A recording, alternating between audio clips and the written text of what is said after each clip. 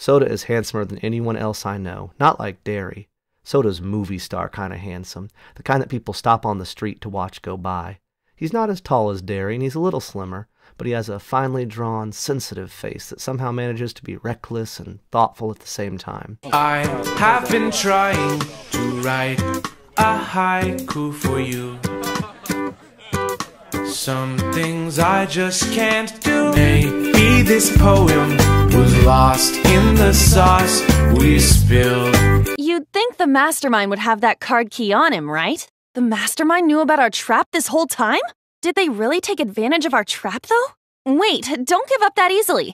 We already know the culprit is the mastermind. We gotta work together to find the mastermind. Oh no, who told you that? Oh. Wow, I- am sorry. I totally respect that.